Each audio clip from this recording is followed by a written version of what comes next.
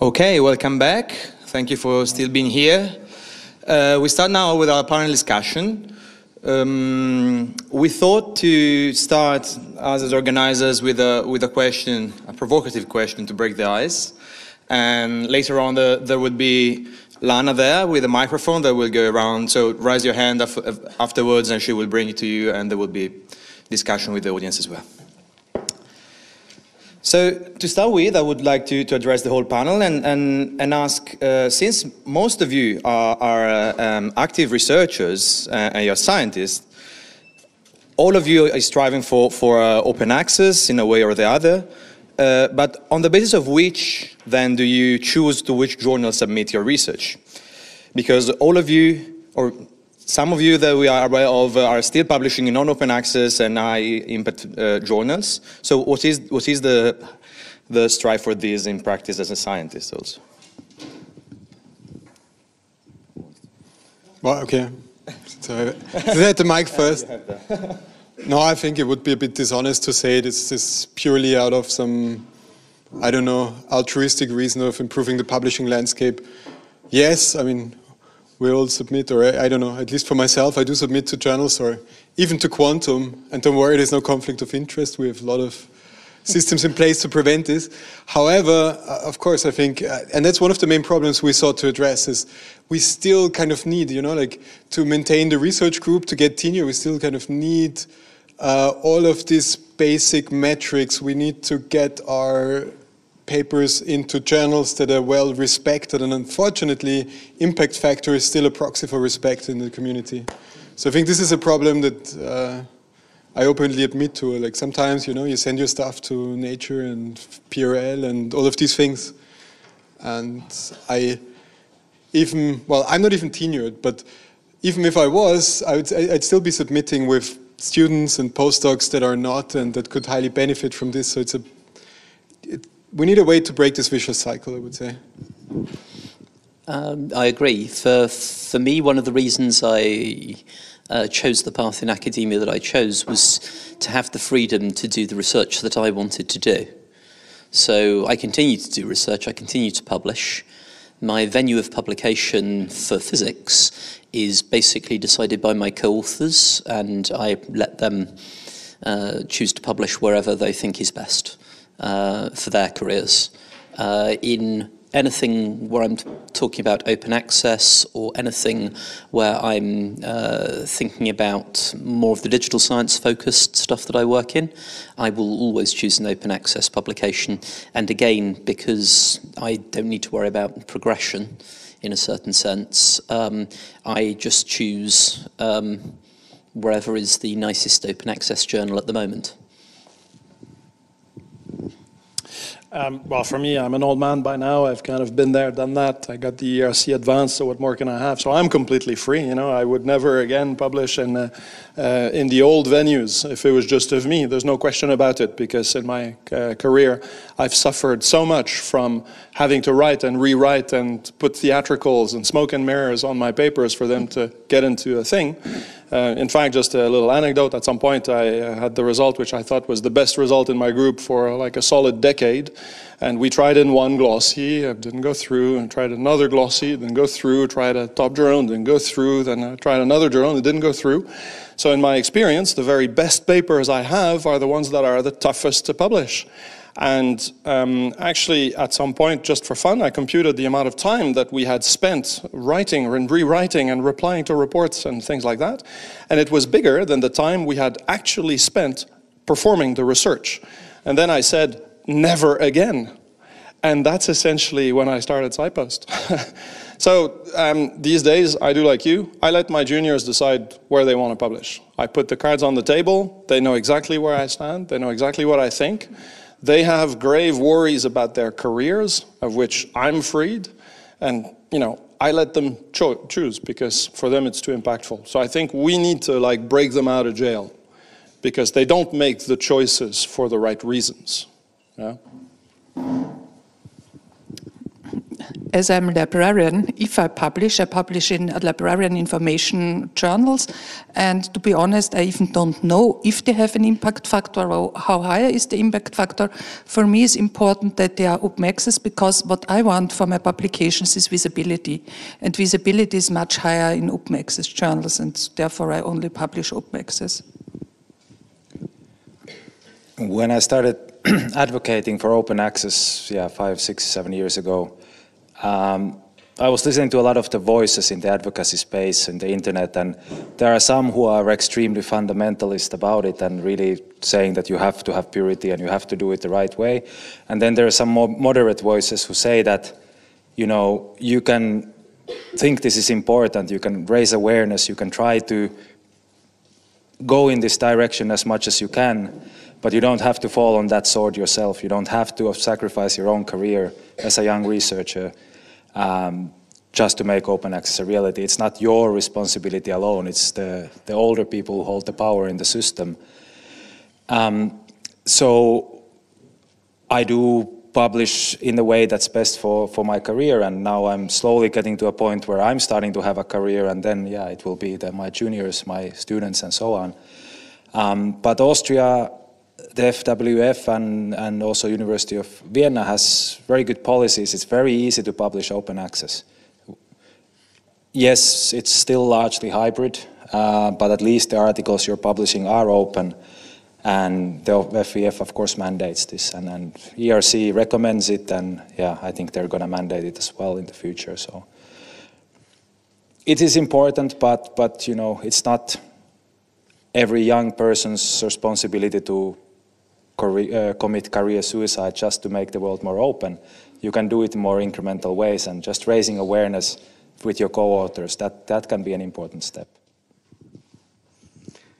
Yeah, um, I completely agree and maybe to add my own anecdote to that as a social scientist who studies publication behavior and who is also studying how impact factors um, impact people's publication behavior. One thing that is kind of ironic, you always are, to a certain extent, your own um, object of observation, so to say. Um, and that has some irony sometimes because I have to say, when I was thinking about the question, I also, there's one very nice paper that I wrote that would have been perfect for a very nice kind of grassroots uh, open access um, journal in our field. And I consciously chose not to kind of submit it there, but to a high impact journal because I needed it for kind of to complete my 10 year agreement with this university. Um, and, you know, that is the kind of the irony of being critical and writing about this. Actually, the paper is even about this partly, um, so it goes it goes full circle. Um, but uh, it actually kind of really wants I want really want to support it by saying, well, it's about individual decisions, but we all can only make individual decisions in the framework conditions that we get set by our institutions, and so I think that is really important to kind of also get the way to change the way the 10-year agreements look, to change the way that how we evaluate each other also when we look at the grant applications and so on and so forth. Uh, yeah, of course. Just a quick direct response. I mean, I, coming from physics, I don't even understand this section of the debate. Everything we do is anyway open access. I mean, one of the reasons, I mean, the first battle was already won with the establishment of the arXiv and with forcing the journals to accept archiving the papers even prior to publication. I mean, that's the whole point, right? The, the reason we or came up with this journal from, like, I'm young, so like from the time I started publishing, the arXiv existed and was kind of self-evident that every article you ever produce is first put on the arXiv and then sent to a journal. So journals, for me, are this weird quality factor stamp that you put below your arXiv. So everything is open access anyway. That's not the issue. The issue is about, for me, it's about financing and policies and who gets the power of decision making of uh, which results are important, how to obtain tenure and these kind of things. But like, I think open access for me is not the issue. I'm a big fan of arXiv, and everything I publish I put on arXiv as well. But I have to say that there are differences between publishers. Some publishers do very heavy copy editing. They make the text clearer. They help it make, make it more, more accessible. There are more hands-on and more hands-off editing processes. Whether they should cost as much as they do, of course, this we can discuss. But I think there is a there's a danger of being a little bit too naively bashing of publishers that they do nothing of value and you know this could all be done for free and uh, of course you're not suggesting it's completely for free but yeah there, there, are differences and I think the discussion needs to become more nuanced and that's what Plan S is trying to do. There should be transparency about how much of this APC is going for editing services, uh, copy editing, images, whatever. There should be a cost breakdown. What are you actually paying for when you pay this amount? And I don't think many publishers could ju justify their current APCs if they had to provide an actual breakdown.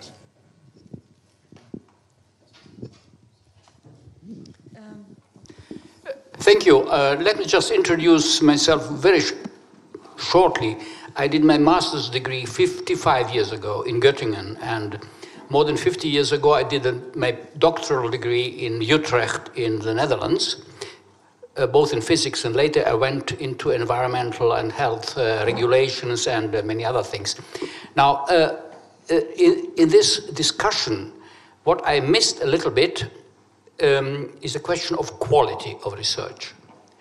Um, because uh, we are in a rather comfortable situation here in Europe, but let's look also around the world.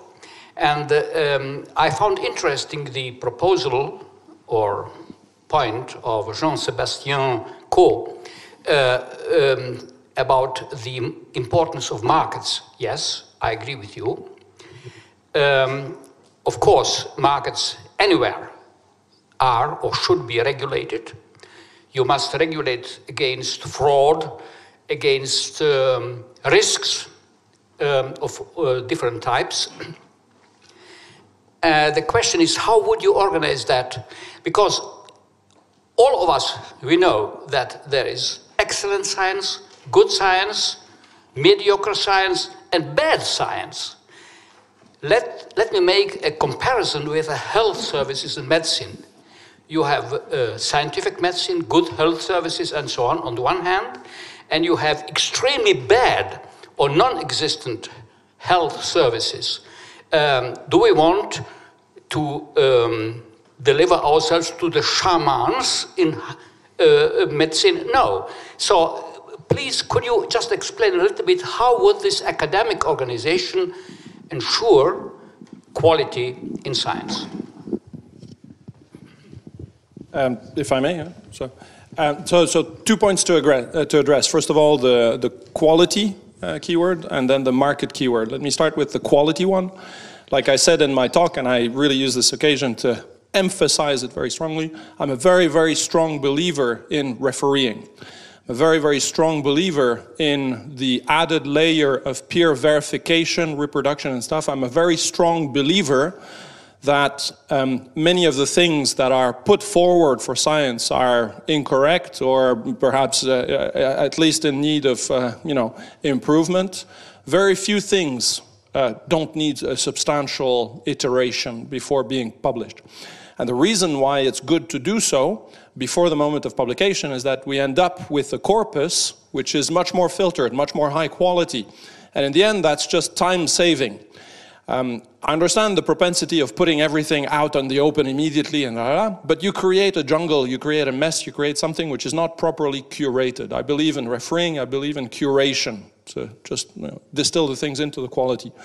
So that's as far as the quality is concerned. And even, for example, the overall quality of the papers on the arXiv that you see today is really a reflection of the existence of proper peer refereeing protocols over decades yeah, and people's habits to make sure that before they put it on the arXiv, they already know that it can survive somebody's refereeing somewhere. So I don't want full openness like that. I really believe in uh, uh, the power of criticism. That's why I'm a scientist, because I criticize everything the whole bloody time. And I do think it's annoying, but it does serve a purpose. Yeah, so that's the quality part of your answer. Now, if I go to the market part of your answer, like I said, I'm a, I'm a, believer, in a believer in markets when things are marketable. Um, however, if I think of scientific publishing as a market, then there are a number of uh, very problematic things that show up. Um, Uh, let's imagine a future in which uh, APCs indeed uh, are let to run their wild course and publishers can really uh, say attach teams of editors to your thing. They will even reproduce your data. They will uh, pump up your code and whatnot. And in the end, to do that, it, um, it costs them 100,000 euros. And that's what they charge you with 36, call it 40% profit margin, 140,000 euros. That's the bill that I get. I sit down, I do a calculation, and I know that if I get such a paper, my chances of getting a 2.5 million grant are improved by more than, say, you know, 15, 20%. Do I pay the bill? Yes, I do. Okay? Um, so, so uh, the point is that scientific publications, they're like jewels, they're like sports cars, they're like, you know, luxury watches and things like that. And the top price uh, is unbounded, and the manufacturing price has got nothing to do with the market price. And that's the reason why markets in publishing fail. It's the first fundamental reason. The second fundamental reason is you can ask yourself, where does the worth of the object come from? I do believe that there is worth in metadata. I'm very serious about metadata services. I'm very serious about what we do at SciPost with, uh, as publishers. Yeah? But I do not, for a second, uh, pretend that what we do comes anywhere near the worth of the work of the authors, the discovery that's described in there, the, the toil that was put in there. So if we're going to go market on this, let's open it up. Everybody gets a market. Like I joke in my things, uh, you know, I, I, want to be paid for my refereeing uh, work also. I want to be uh, maybe even marketed on that. If I do a better job as a referee, I want to be paid more. Maybe I want to be marketed as an author as well, you know. So um, the reason why I don't want to have markets in publishing is because, uh, first of all, the price, the execution, manufacturing price, has got nothing to do with the actual price which can be charged. And second, if you're going to go market, you go market across the whole board, yeah, including the researchers. Just a very quick comment. Where does the quality come from? Quality comes from other researchers, right? They decide what research is correct and how it should be improved and so on, not the publishers. The publishers organize currently the peer review, but there's no reason why the community couldn't organize peer review. And so the quality, keeping the high quality doesn't necessarily involve big commercial publishers and big profits. But I do agree with the other speakers, we need to have solid peer review, and that's now, now maybe less, but an early misconception about open access is that there is no, no quality controls, and that's just not true, not anymore at least. Next question.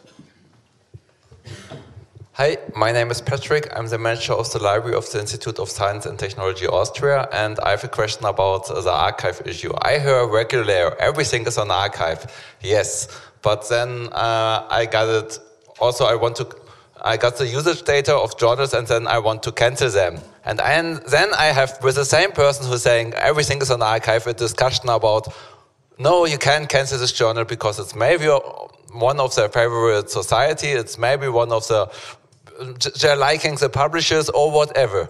Um, so there's no market issue to buy the journal anymore, and there is this is a non-open journal. So I would prefer to pay this money to anything that is open, uh, open access, even maybe give the money to arXiv, but I can't because it's still needed. Can somebody somebody explain me when everything is on arXiv, why I still need the journals?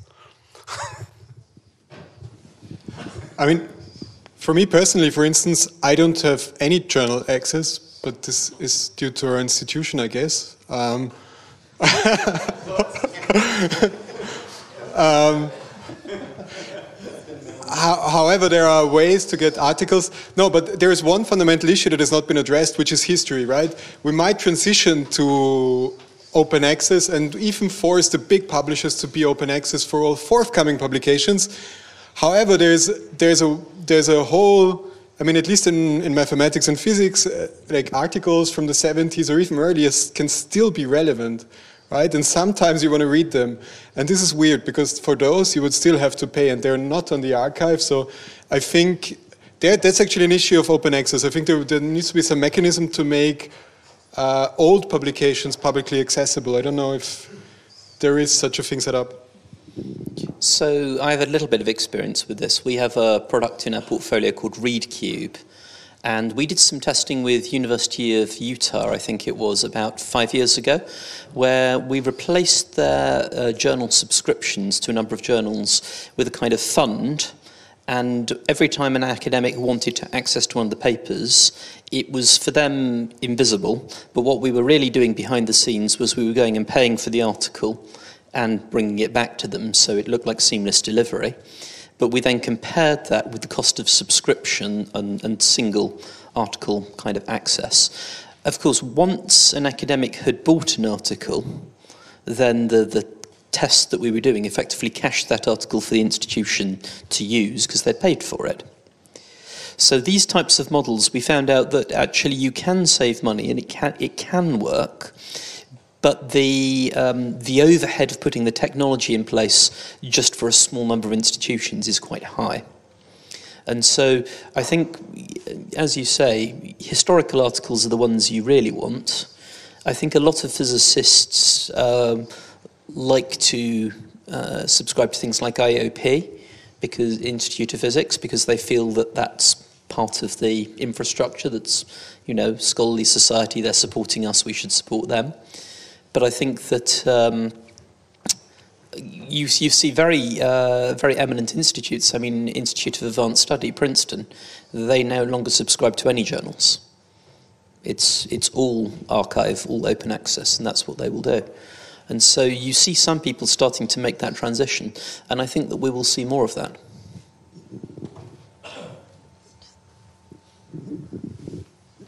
maybe just one word. Uh, remember that arXiv does not organize peer review, right? So the reason why you should support journals in one form or another is because you do believe in the quality stamp of peer review. So, uh, so, so that's one thing. Right? And also on the arXiv, the, um, uh, the adoption percentage of arXiv varies uh, tremendously between subfields, even of physics. Um, I would like to ask a question which is linked to the, the first answer that you gave to, to Flavio's question. So when he was asking how do you choose how to, uh, wh where to submit your papers, and many of them just said, okay, I, I, do agree, I do admit that I do submit in, in this type of journals. Or I let my students choose whatever they feel is best. But what is best? And then he was referring to the impact factor. Now, the impact factor, it's it's supposed to be reflecting the average number of citation of the articles that are submitted in a journal. And so in principle, it does not assess the quality of each single article, but nevertheless, uh, it ends up to give some sort of uh, market power to the uh, journals with the highest impact factor. So, so together with the open accessibility of the material, the impact factor is also perhaps to be listed among the problems of scientific publishing. And this is not just solved with open accessibility. So how would you address this issue?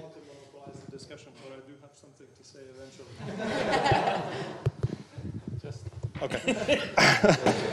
so, uh, so let me. Uh, I, I, know impact factor is criticized all over the place. I don't like the impact factor at all, but let's just. Uh, I like thinking about it as well. So, what does it mean for a journal to have a higher impact factor? It could be that they have better editorial processes in place. It could be that they have more stringent editors and referees in place. It could be that they're actually doing a good job and that you can measure that. Um, so, you know, maybe, maybe not. It's not because you're there. There have been studies uh, uh, for various uh, journals that have shown that indeed a few articles carry the whole justification for the impact factor, and that you can only very, uh, uh, you know, with great difficulty predict which articles are going to break through, when they will, etc., etc., etc. But okay, let's just put our kind of uh, scientists' hats on again. What is the impact factor? The impact factor is an objectively defined, reproducible measure. So it's not bad.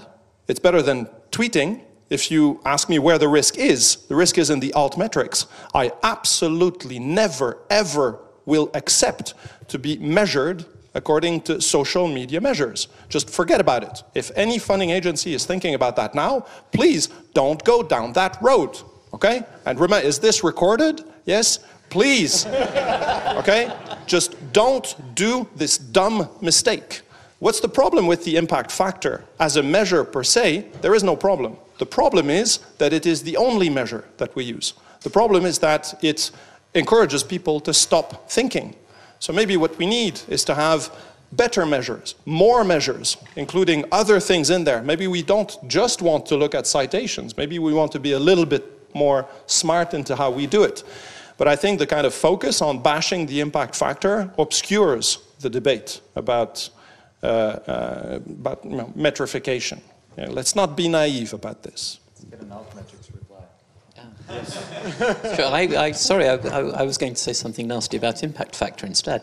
Um, so, so, I mean, for, from my perspective, impact factor, just, just to bash it initially, is, is, is really uh, in part a measure of the size of the community. So you can't be totally objective about um, this impact versus that impact factor unless you understand the provenance, the background of the journal. So I completely agree with you. People look at the impact factor and they don't think. It's like me telling you that the paper has five citations and you're drawing a conclusion whether that paper is good or bad, not knowing how old it is, what the field is, all sorts of other contextual information. So I think the impact factor is, is, is vastly misused. I also kind of object to it on the grounds that people use it to make the choice of where to publish. And I think for a single number to have that kind of effect over the system of research is vastly disproportionate and kind of worrying. But to, to, to move on from that point and to think about the altmetrics, the way I think about altmetrics is that they are additional dimensions to citation.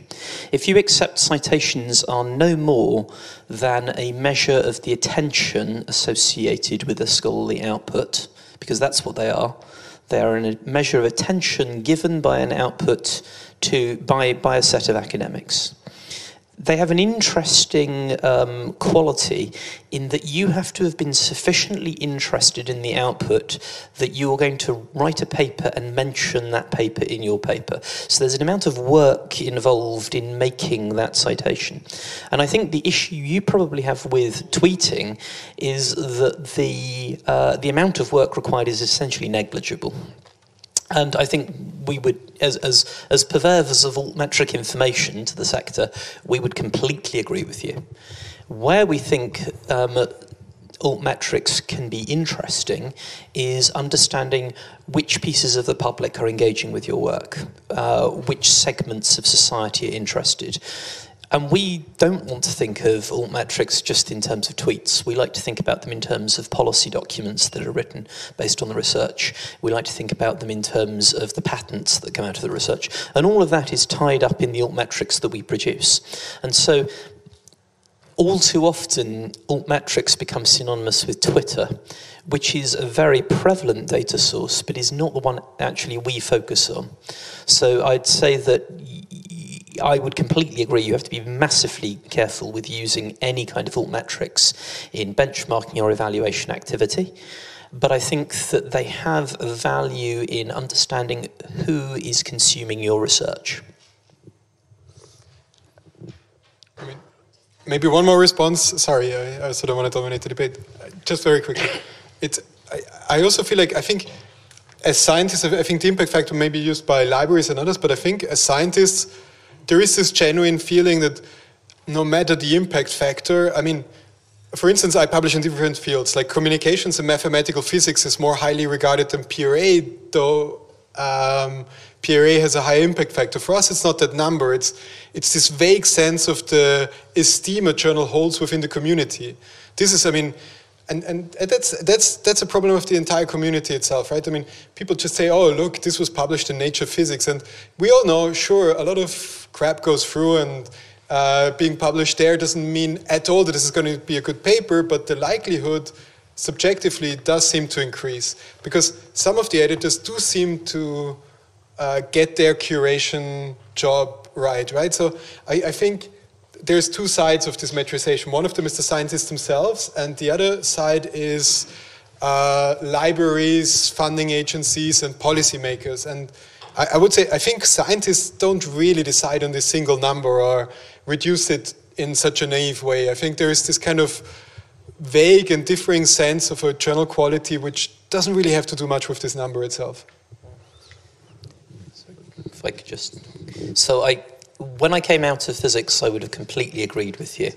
Having spent the last 15 years working more across areas, I would say the problem is worse than you think it is. uh, just a remark to libraries and impact factors. Normally, we do not use impact factor. So uh, we buy uh, we buy in big bundles normally, and then the second uh, reason to buy uh, a journal would be a researcher's wish that we buy the journals. And this is the, the real buying decision we make, not not concerning to impact factors. I, I, do agree that researchers can be more subtle about these issues, but on the other hand, when we are evaluated, unless the funder or the university has really proper policies in place, not just as being signing DORA, which not all have done by any means, but actually implementing that, having that in their rules for peer review and so on, most of the peer review community who evaluates you as a researcher, uh, your grant as a, as a grant evaluator, they will look where you have published. That's a, that's a fact. It's a sad fact, but it is a fact, and it's not just the number, the impact factor, but there is a strong correlation between these two. And that's why uh, changing the way we evaluate researchers and science, that, that has to change for Plan S to succeed and for this entire open access uh, change revolution to, to work out?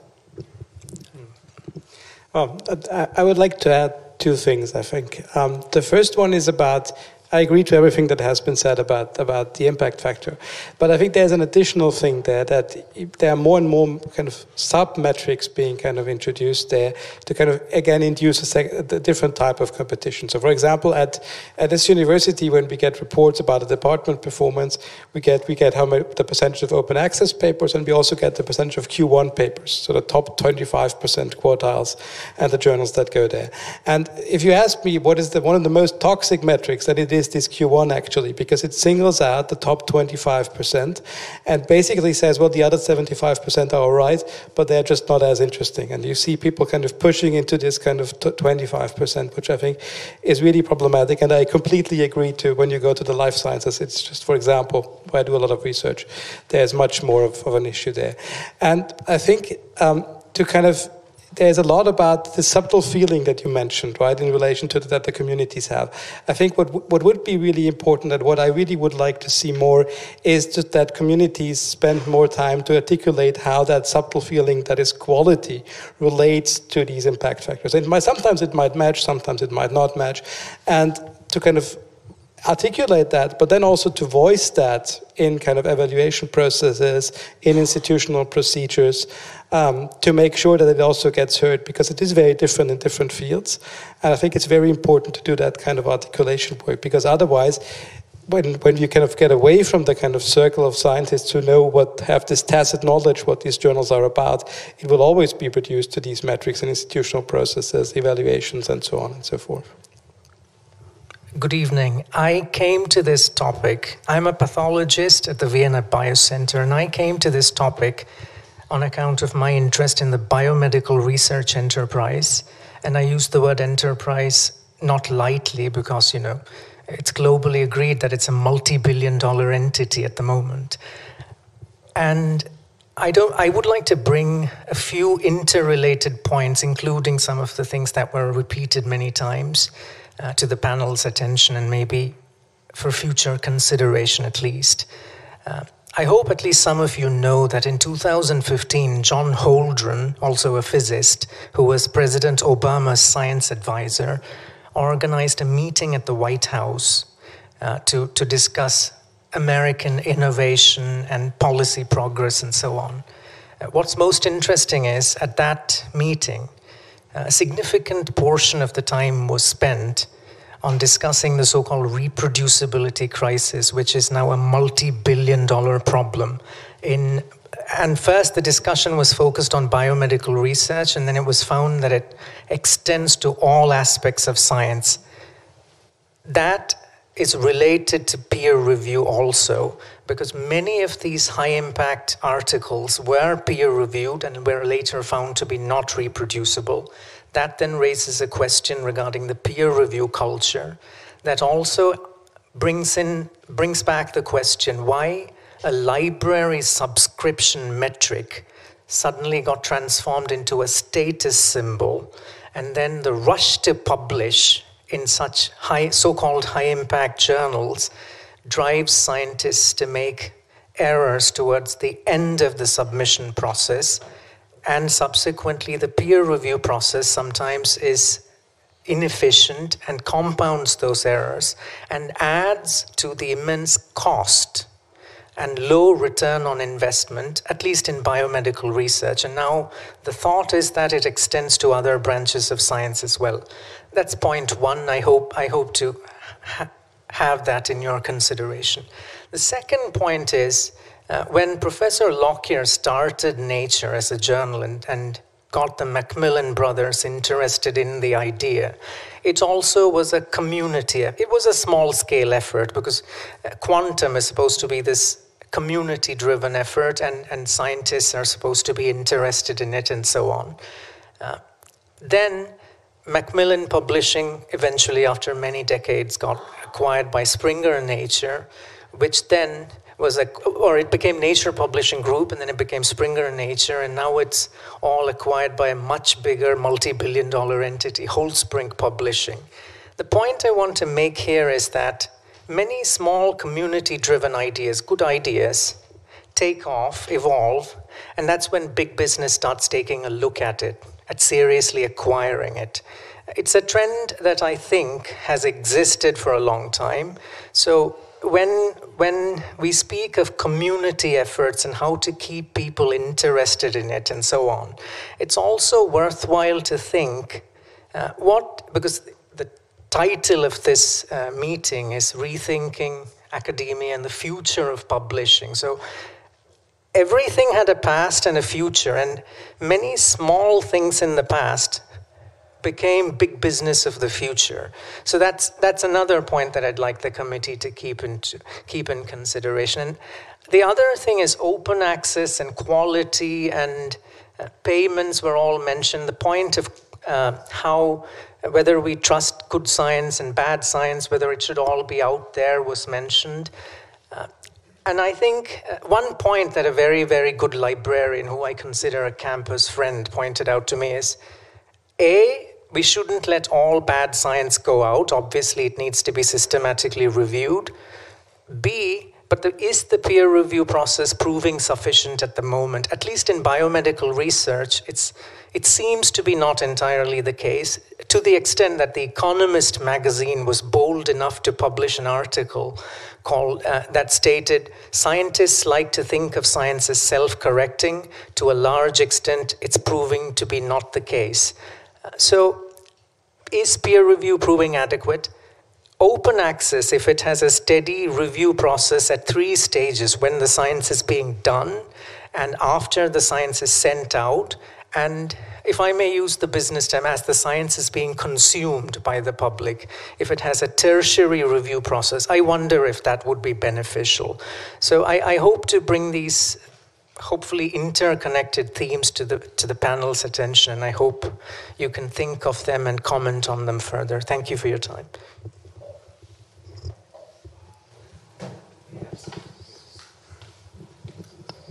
So this is this is related to another question we had prepared, so maybe we, we ask all, all together because otherwise you have to, to, to reply in different steps. So uh, still about peer review, since this, this is partly at, partly at the core of the, of the question that was just posed is uh, that the peer review is often considered somehow this system of evaluation of the of the correctness of, of a research. This is how it, it, it should be, is supposed to be mostly. Uh, but at the end of the day, uh, there are even many, many evidence that uh, not all the errors are, are, are uh, actually pointed out by, by this peer review. There have been uh, sociological experiments in, in uh, uh, put deliberately put some errors in, and, and then sent for peer review, and then most of the time this was not the case that they were spotted, but mostly just the the the style or the minor things considered in, in the, that should be considered in the scientific effort. So as a result, peer review seems today to be something like uh, giving some recommendation or suggestion whether the, uh, an, an, article is suitable enough to get into that journal. So what the reviewers most of the time are, are, are saying is not whether this is a scientific correct result, but rather that if this is suitable for the scope of the journal. So peer review is, a, is kind of maybe of, of misunderstood in its original scope. So this connecting the, the, so what is the role of peer review basically, and how can we uh, act on peer review now?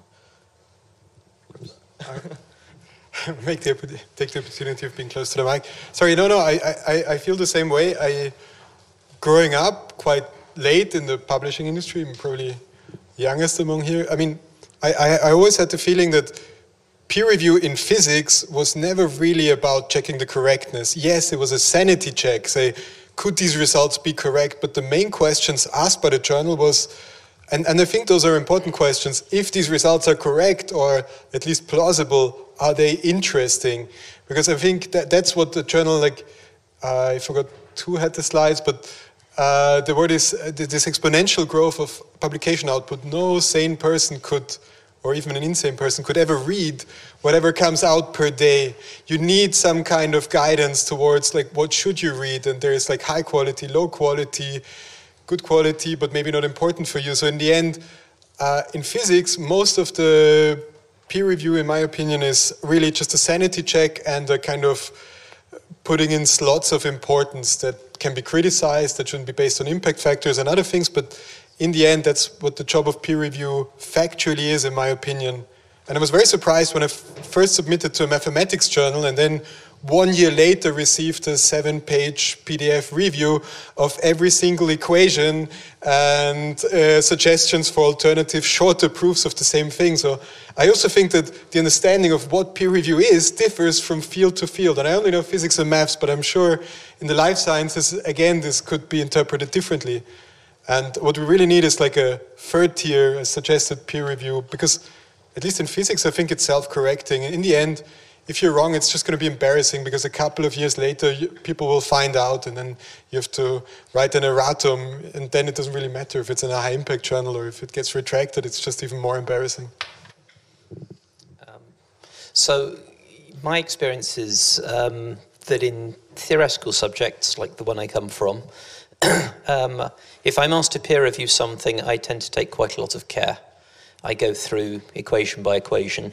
I don't necessarily reprove it, but I, I, make sure that the argument works from equation to equation. And I think in theoretical subjects and the types of papers we receive, uh, you can do that. But if you consider someone in the life sciences who has a wet lab and who's been funded several million dollars to actually set that experiment up, has managed to acquire certain types of antibodies in order to do a piece of research. This is in, essentially very few people are ever going to reproduce that experiment to actually check it. And so I think as you get into the more um, experimental disciplines, as you get into big science, there's a lower and lower capability to actually check the research. And this is a fundamental problem with the system. In the more theoretical subjects, I think we should expect people to be correct. And then I think there's a, a, a spectrum, a sliding scale. As we become more and more heavily experimental, the more people are looking for um, issues in the ethics, issues in the style of the experiment, issues in, in the logical train of thought for why things are being interpreted in the way that they're being interpreted, and much less about actually making sure the experiment itself is rigorous. So I think this is, a, this is certainly my view of, of, of the bits that I've seen. Um, one point of correction to the colleague in the audience, uh, Holtzbrinck actually only owns a part of Springer Nature. So they originally acquired Macmillan Publishing back in about 1996. And they held Macmillan Publishing and developed it as a company, and when uh, which owned Nature Publishing Group. You're quite right. But then four years ago, they did a merger with Springer Nature, and they own 53% of Springer Nature, and 47% is owned by a private equity group called BC Partners.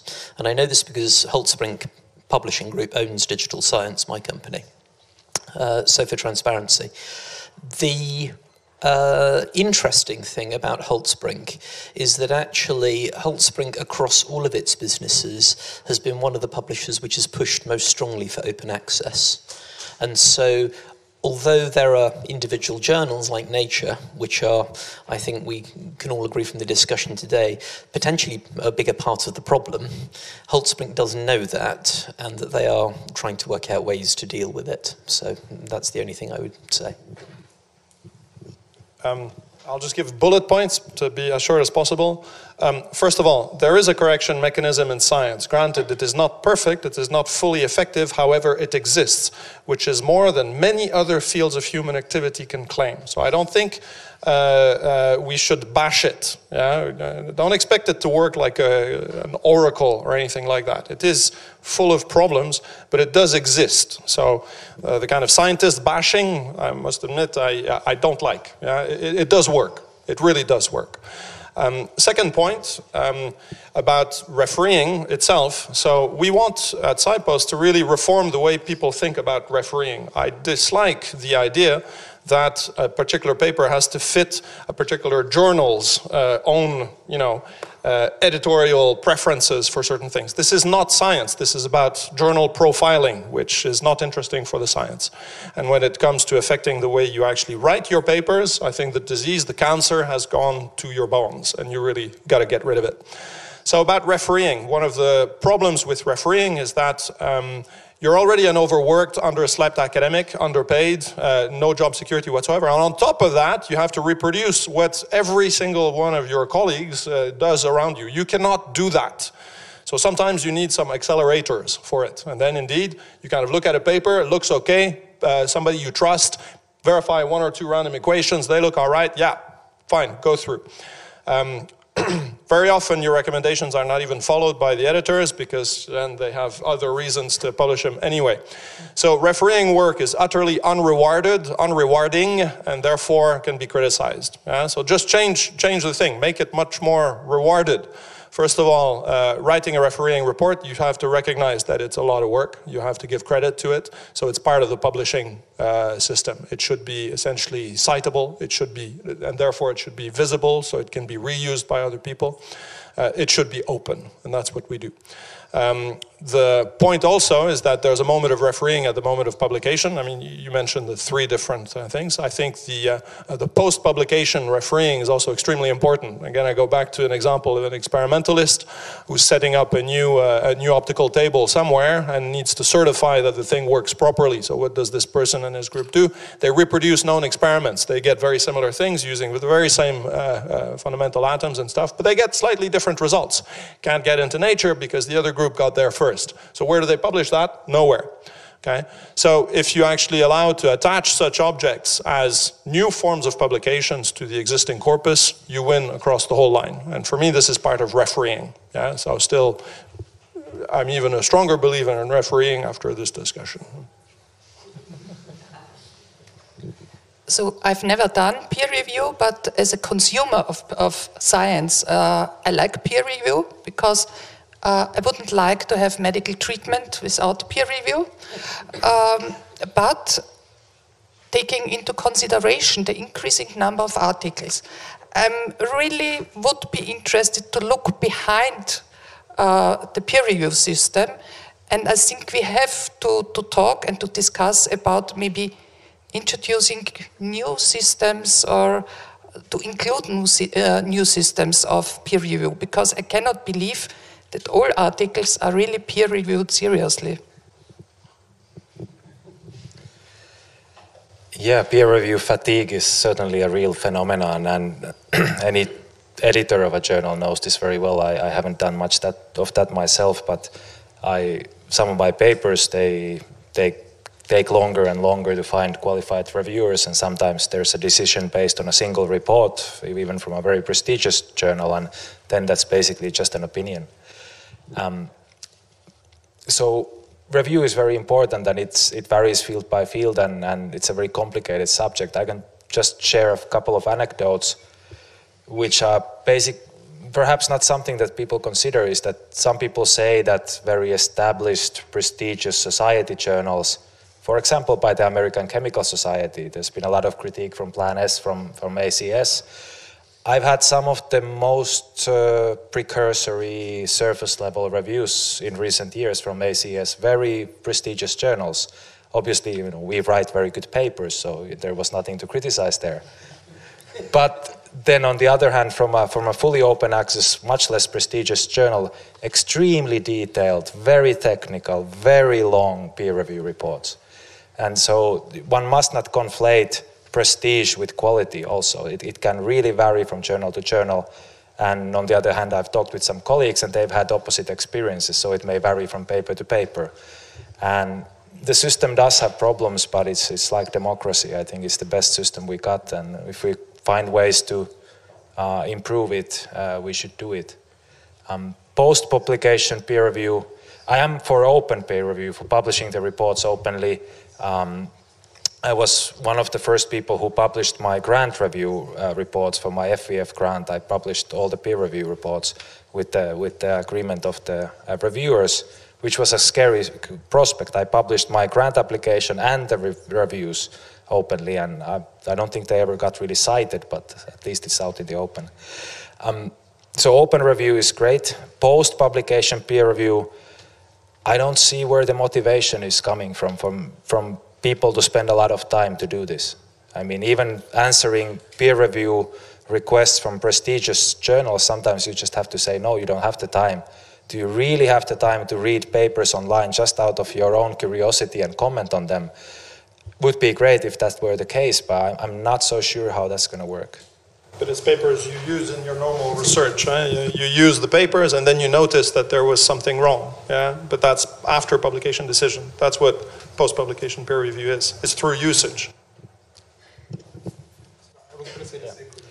Um, yeah, yeah, sure. And, and, and, and, there are cases like there is a currently still online on arXiv. There is a paper that I read first on arXiv, and I was like, no, this is there's a fundamental misunderstanding. These results are wrong. I then got it to review for a very prestigious journal. I wrote a very detailed report, and other reviewers also criticized this paper. Uh, it wasn't accepted, but the arXiv version is still there. It's still wrong. So uh, having the system somehow be interconnected more and having all this be more transparent and more public, I think would help with reproducibility and, and with these issues and save a lot of time. Would it work if, uh, would it work if this, because I, I second and support the idea of remuneration and reward of scientists who are under primary pressure to do their own work don't have the time to review everything in, in full detail. Would it work? Is it, is it even silly to think of having a review process to say someone's part-time job? Yes. No. no, lack of expertise doesn't work. You need the top experts. My yes was yes, it is a silly idea. So oh, oh. no, but what does work is what you're also working with Publons, no, and these kind of things. Many journals do now. I think there are initiatives. It's not by us, but uh, this kind of new platform Publons that tries to cross-integrate all different kinds of journals and credit you for the reviews you actually write and tries to double check this with the journals. So at least at Quantum, we submit all reviewers that want to participate, all their metadata to Publon such that they have a profile that they can then at least say in their CV, okay, ah, this is how many publications I've reviewed for these and these journals, certifiably. Contents of the reviews.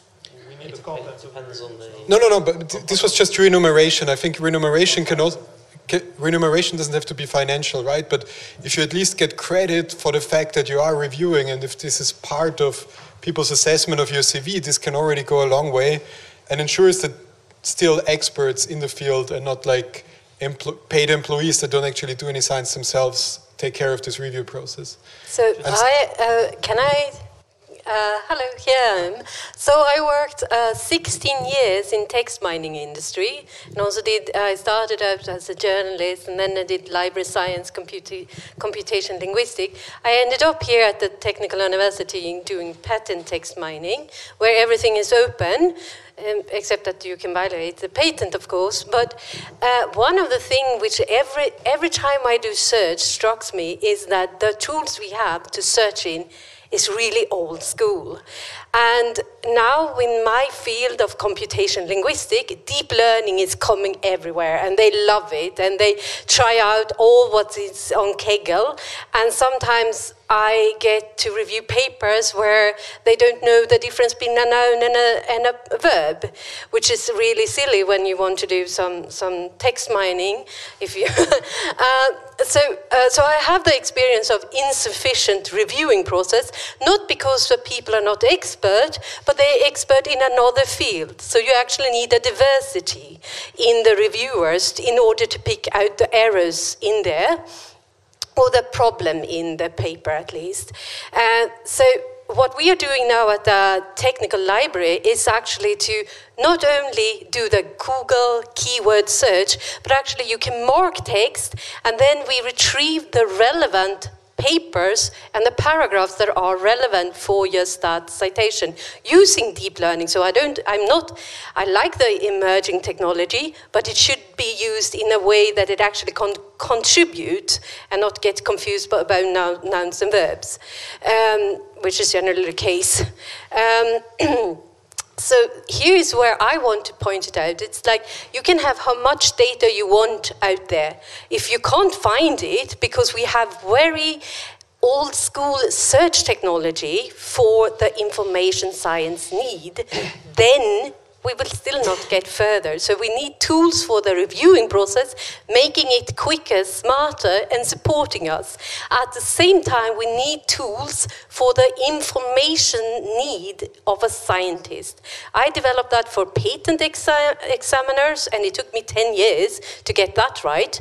But at least start there to actually have tools that can find, detect, fake news, fake science, actually brought it because we have the technology, we have the data. It's just a question of the effort getting there.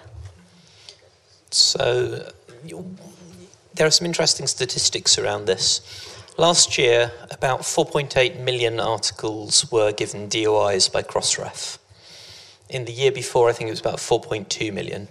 So the number, or maybe 4.5 million, but in any case, the number is going up precipitously a lot of the new work that's coming out is actually coming out of China. China is now the second largest producer of academic work in the world. And uh, the structures we have for identifying peer reviewers, I completely agree, are not optimal. So, in fact, a lot of the peer review burden is going on to the old research economies in Europe, in the US, the established research economies. And so actually the volume of papers is going up significantly, but the people we're asking to peer review is exactly the same group as it was before.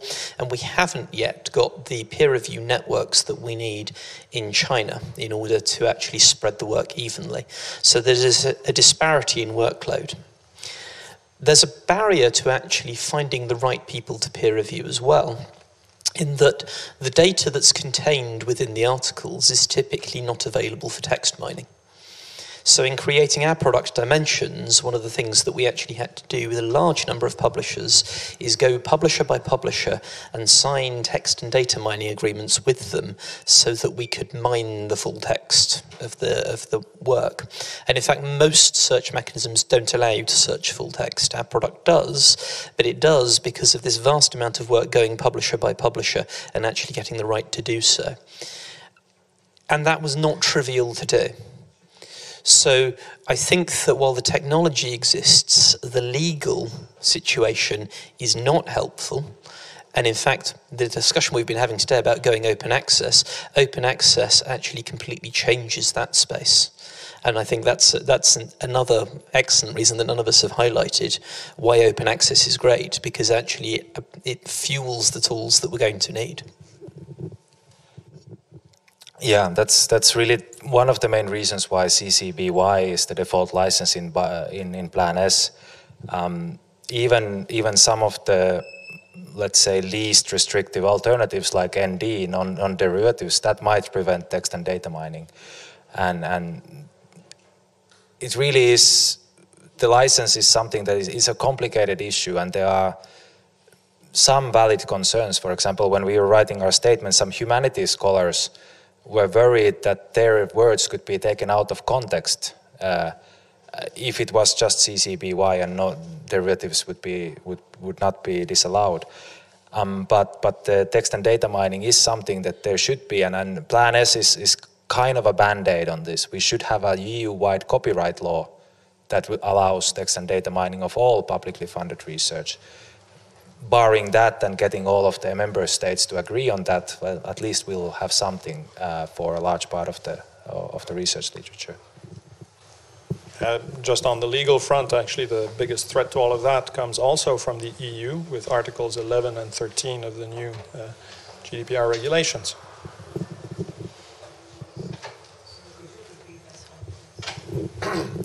Um, there are essentially uh, new laws that are being put forward at the European level about essentially uh, uh that, that, are affecting the kind of reuse part of the uh, uh, uh you know machine mined stuff. And these regulations are not yet adopted by, adopted by the countries, but if they are adopted, they could have a very detrimental effect on all this thing. Yeah, so, but this is a big unknown, actually. But uh, recent developments are really uh, quite worrying.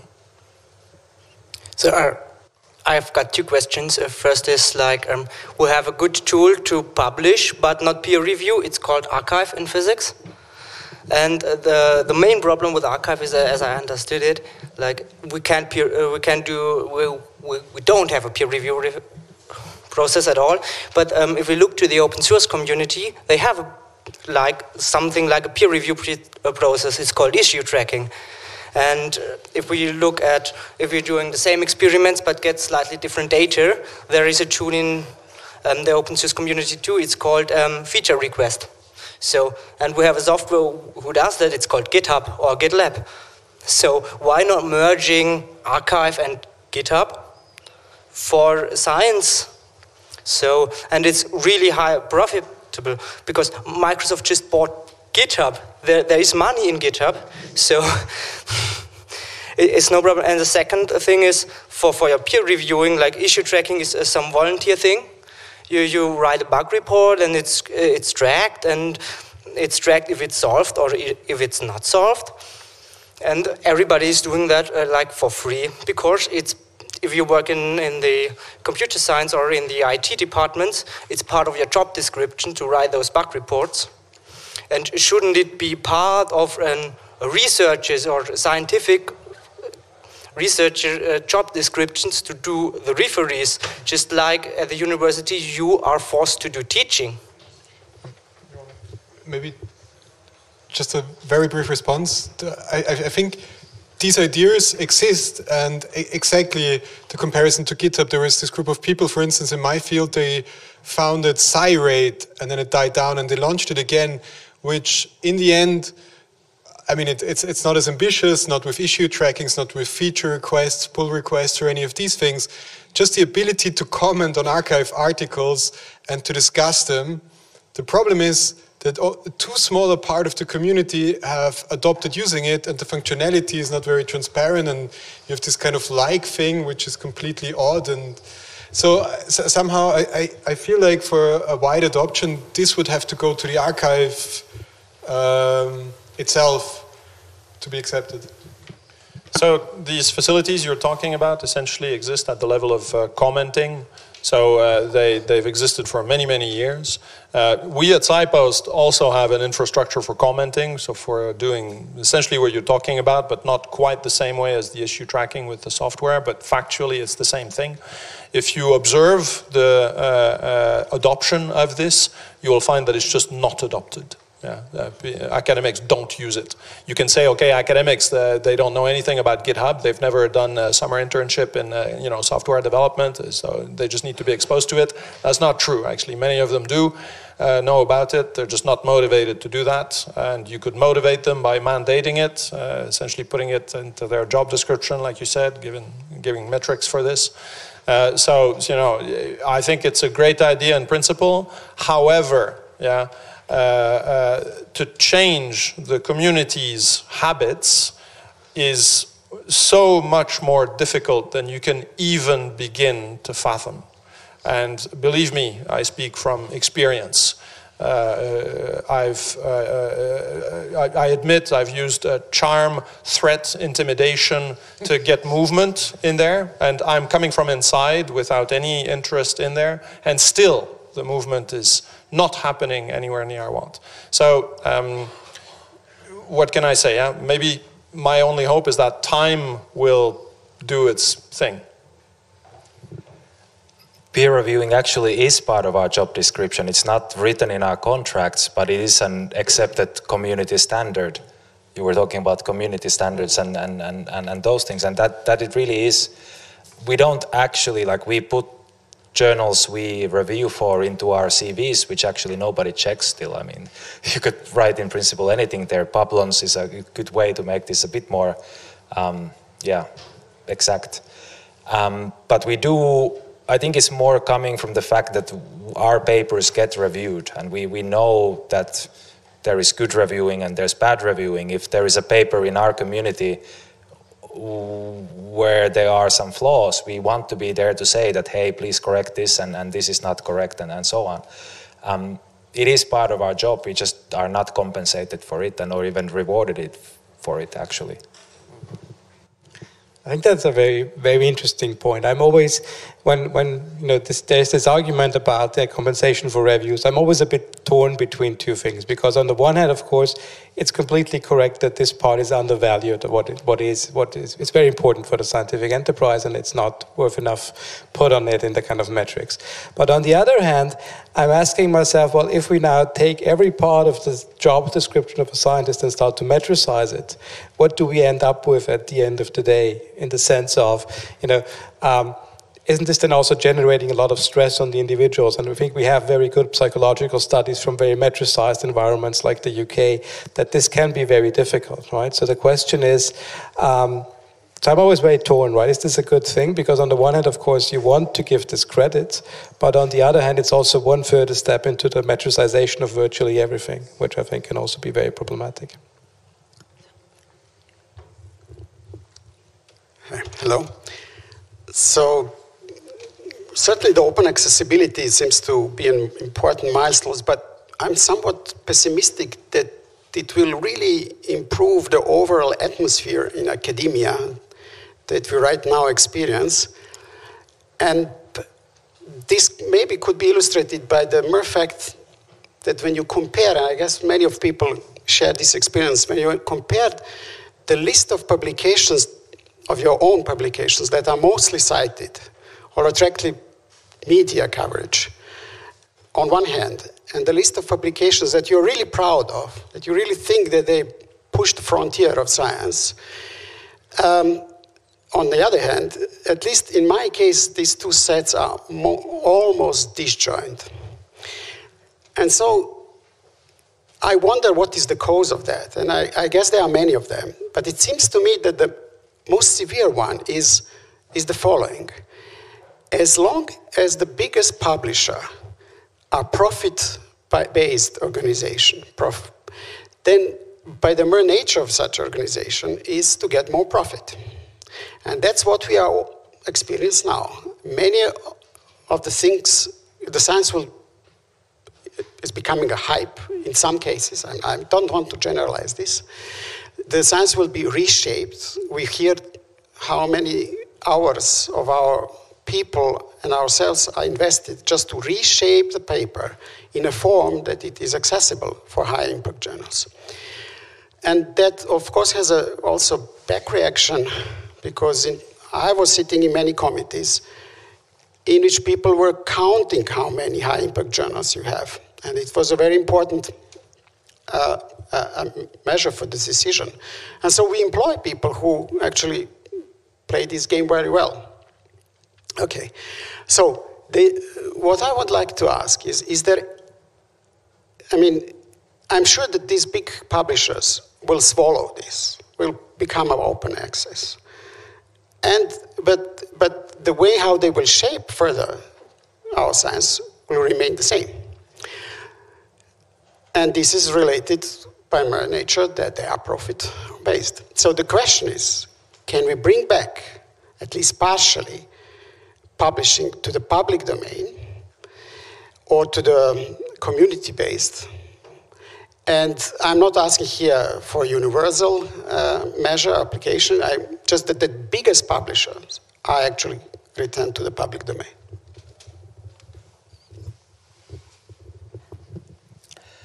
That's, those are all very valid concerns, and there's certainly in the open access advocacy community there are mixed feelings about the current transition and, and the fear that the big publishers will own it, own the new system as well, and that is a real fear.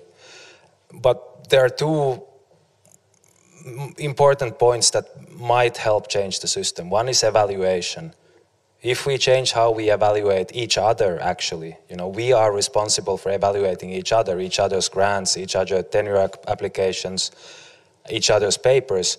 If we change that then then we, we can have some real change in the system. And and then the the prestige of a specific journal is no longer as important as the actual contents of the paper. How to get there? That's going to be difficult but it's a good it's a worthwhile goal. Um, the other point that the transition to open access and, and, and even article processing fees, even though they, they do have some problems, I agree with some of the members of the panel on that. Currently, when you have these huge big deal bundles, there is, there is no market. There is no market whatsoever. Your libraries have to subscribe to this bundle and that bundle and the third bundle, and that's it. There is no real market in effect even if we move just to an all, all, APC system, then I think there would be more power for uh, newer initiatives and other journals to, to compete in this marketplace, apart from the big publishers. But that's a big if. I mean, just to add to this perspective, I think indeed we're, we're almost a bit shy talking about these things, talking only about open access, because one of the big issues for me really is for profit versus not for profit, community organized versus kind of profit driven, creating the hype and so on. And one obvious solution that people don't like to talk about is, of course, a, it's not even a renationalization, it's a deprivatization of publishing, right? These are publicly funded universities, researchers, and so on, and one could just mandate instead of open access, like Plan S does, one could mandate not for profit. And that would be a big step further, but I guess this is harder to advocate, not really sure why. I'm guessing maybe a lot of influential scientists sit in editorial boards for for-profit publishers. I don't know. However, um, and, and that's the thing, right? How do we get there then, right? How do we even start moving in the right direction? And this is something of like the, reason why we have this kind of community grassroots journals, but at the same time still focus on more traditional impact metrics to then become one of these career-making journals in the hopes that this could then just be replaced from within. Very quick comment on the profit versus non non-profit issue. I mean, on society versus commercial publishers. American Chemical Society is one of the most regressive publishers regarding open access. Uh, their executives make seven hundred thousand dollars, eight hundred thousand, maybe more than a million per year, and this is perceived by the community to be a community society and community journals we have to be we have to be nuanced about these issues. There's not uh, open is good and closed is bad. Society is good and commercial is bad. It's not that simple. Yeah, just just to add something to this is. Um, so first of all, whether I would ask, I would like to ask whether it is sustainable to bring this non-for, non-for-profit publishing to to to a larger scale, so to, to actually replace what we have now, because it seems it seems that the the whole scientific enterprise is something that is mostly publicly funded from, from the getting the ideas to the basic research, uh, all the way down to, to so everything that happens in the universities, the, the, the, the production of knowledge is mostly public, publicly funded, except for a step in between, which is uh, for in, made by for-profit companies, which sounds at, at, at, at least weird, right?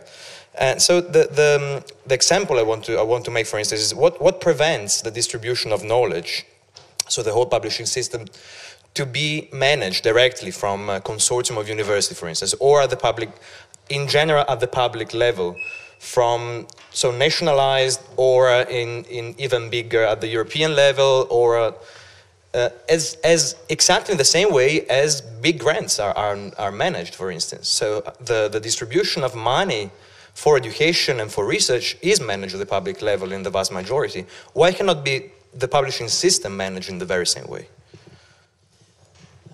So this is a really interesting point. Um, I think if you think about uh, any kind of system of uh, of trust, I was talking a little bit about trust earlier. I think you need an external third party as part of the trust system, and so I think asking academia to moderate itself, given that it's being given government funding, is a challenging proposition. I think asking uh, granting bodies to moderate themselves is also a challenge is a challenging proposition. So I think what publishers have always been is kind of that external third eye that's seen as part of research in a certain sense, but also separate from research. So I think that there's a I think there is a, a role that they can play. I don't.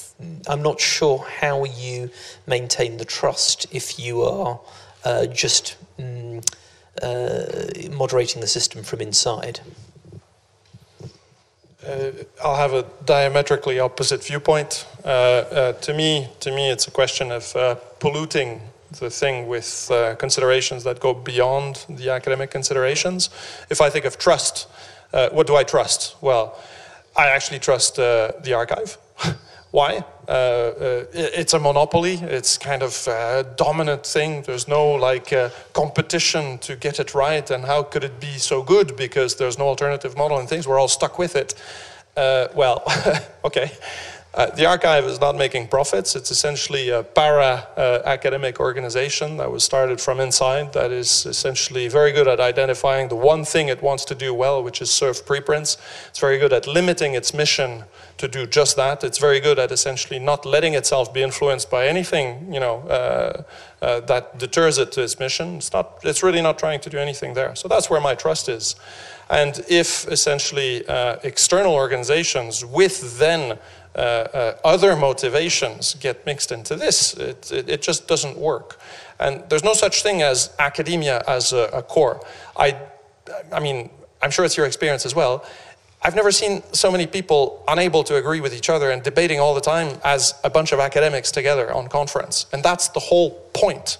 Uh, so, I mean, I think for me, it's entirely possible to run the thing without this external pollution uh, in the system, and uh, about essentially the, the, the not-for-profit nature that you were mentioning and the kind of community-driven thing.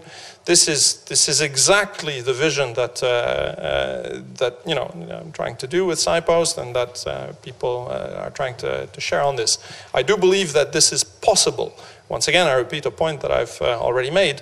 I don't think the technical challenges are beyond what we normally do as academics. We do much more complicated stuff. Yeah? This is not rocket science. We can do it. I think it's a question of changing the habits, of installing the system, and just moving this whole edifice to something else. It takes a long time to turn, uh, you know, an ocean liner direction. And I think turning academia is even tougher.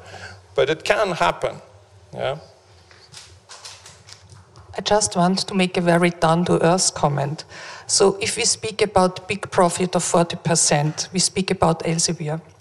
Uh, I know no other publisher that has this profit margin. And as we have to tender all our agreements, I see into the books of publishers. And believe me, already middle class publishers or middle small publishers have real problems to survive. So uh, I think we, we have a little bit to, to concentrate on or to come away from always seeing Elsevier as the one publisher. It is important, it is dangerous, but it's the only publisher with 40% uh, profit margin. Very direct answer to your, to your question what is standing in the way of, of changing the system and making it public and so on, it's prestige and it's us. It's the way we evaluate each other. That's the problem. And, and changing that, if that could be done, the whole system could be changed overnight. But we are locked in a prestige economy. And that is the core problem. And how do we change that is a much more difficult question than, than having 100% open access to all publications. That's, that can be solved and that will be solved, as some said. It will be happen, the big publishers will bite that, that will change in the next few years. But how do we change the whole system of evaluation? And I, that's the real difficult question. Um, I, I, think I, I, I, need to disagree with the, the, observation that it's just the publishing thing that is the commercial thing. Um, I do think that we are seeing more and more bits and pieces of research work being commercialized in different ways, right? So they have the first companies in, in certain fields that offer to for-profit write research grants for researchers. There are certain areas of research where it's even possible to outsource data production to specific companies. So there are a lot of different offers that, that are there, but I think the crucial thing about the, the, the publication is that I see a lot of those other offers are actually using the, the publication business as a platform to offer their services. So when you kind of publish with one of the large publishers, very often you get an offer to do language editing. There are services to provide video abstracts for you. There are services to kind of have a better accessibility of your paper for different in different ways. So there's actually an entire industry that is kind of starting to develop.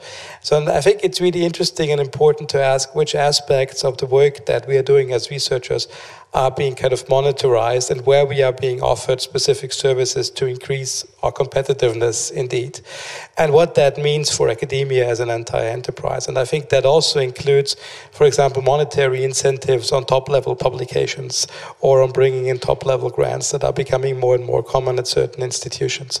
So i think there's a monetarization of the entire system that is not i mean not to defend the publishers but i think it's not limited to the publishers alone. And i think if we talk about that we need to talk talk about the entire.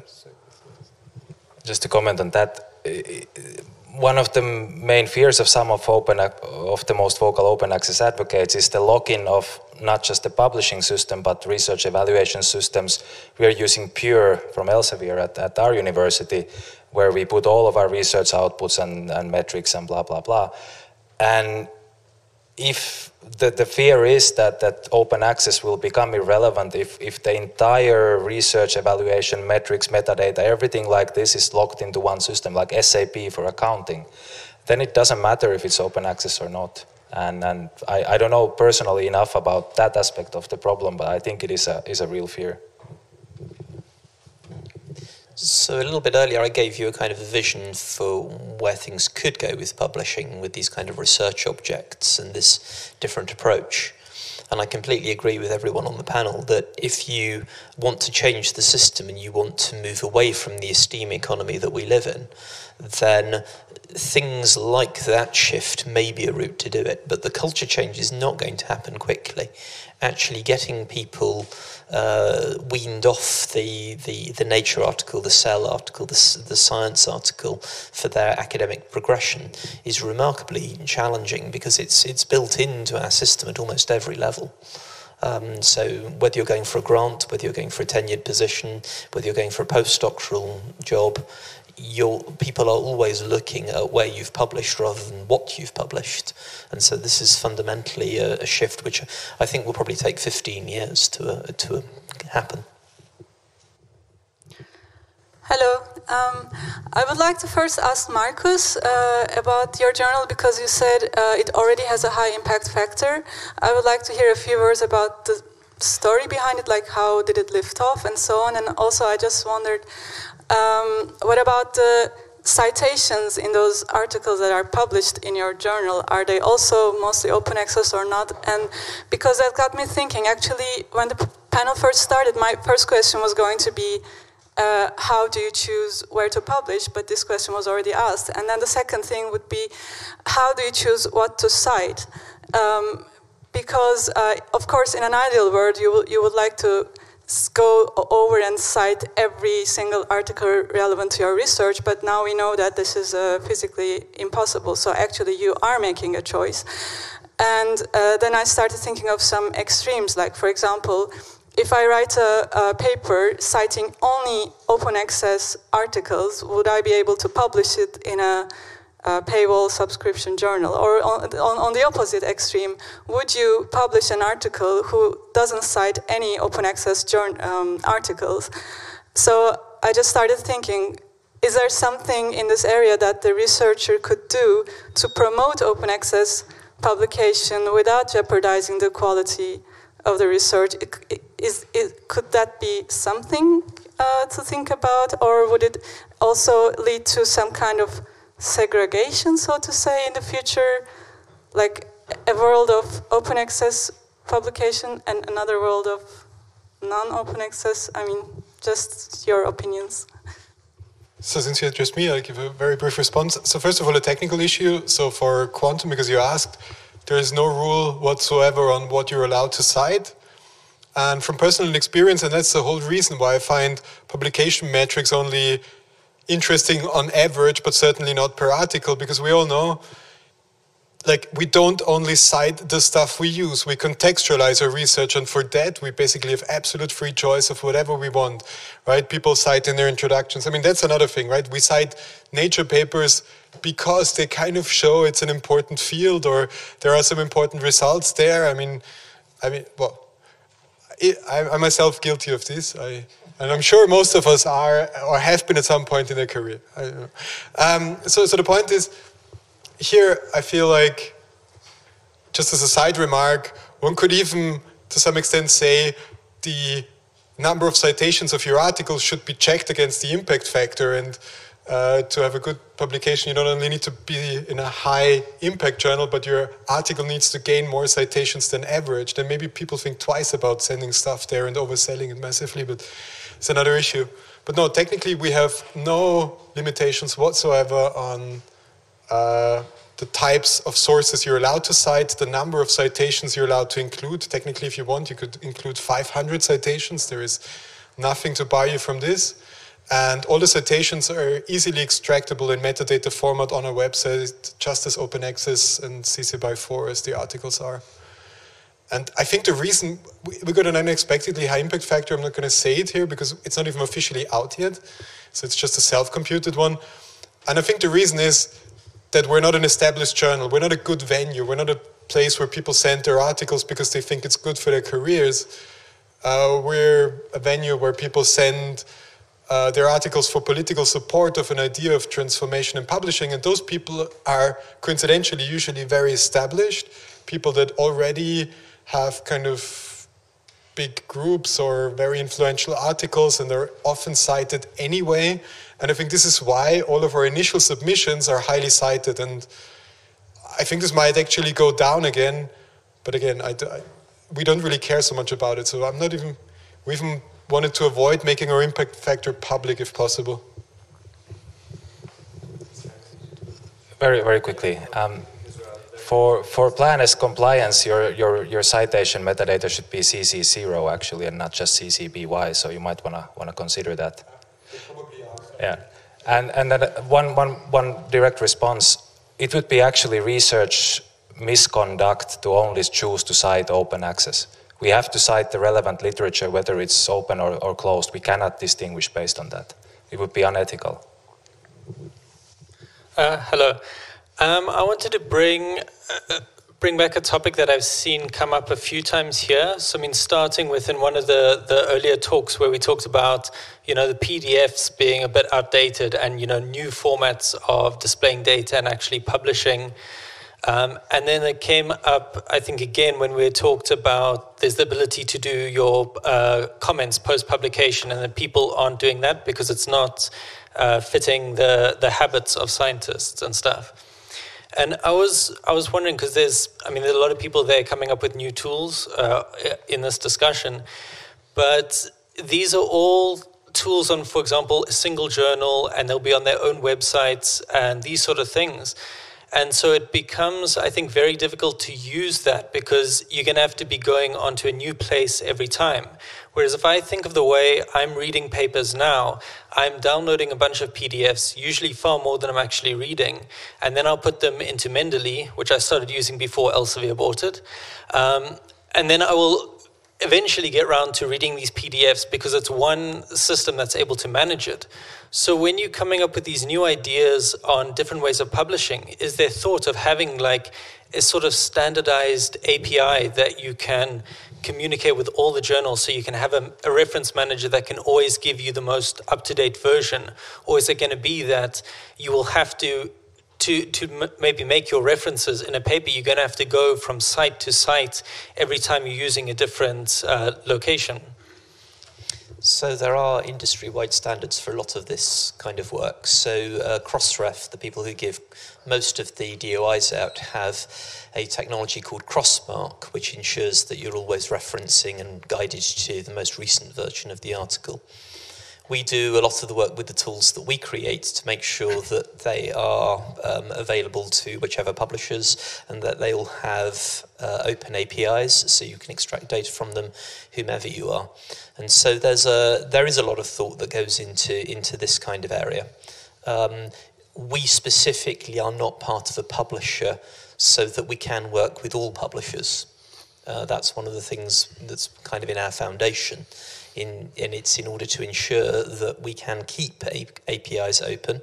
And as we gain scale in the market, we are large enough that publishers trust us, they want to work with us, and we can get them to uh, agree to and adhere to a standard because if you're very small and you have just a few set of tools or they're just on one journal, it's very difficult to ask a publisher to uh, put resource into working with your standard.